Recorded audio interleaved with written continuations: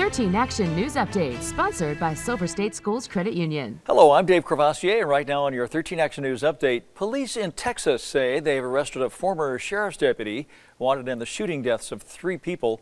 Authorities had been searching for 41 year old Stephen Broderick following the killings of two women and one man on Sunday in Austin. Manor Police Chief Ryan Phipps says Broderick was arrested this morning about 7:30 along a rural road in Manor, an Austin suburb.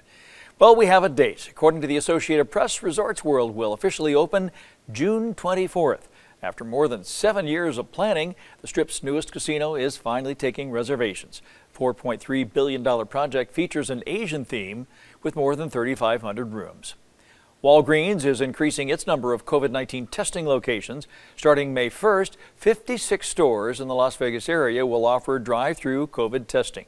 Uh, many of Walgreens testing locations also offer rapid diagnostic tests where results are received the same day. We have a warm couple of days ahead of us. Today, 87. Tomorrow, also in the upper 80s with some breezy conditions moving in towards the afternoon. Tonight, gusts to 20. Tomorrow night, gusts to 25, 30, and some extra clouds rolling into the region. That's because Wednesday, we're watching a storm system push into our region, bringing just a slight chance of some light showers to our area, as well as a drop in temperatures right back to the low 80s, right where we should be for this time of year. But temperatures rebound pretty quickly here as we work towards next weekend. Friday, sunny skies, mid 80s and nearing 90 degrees by next Saturday.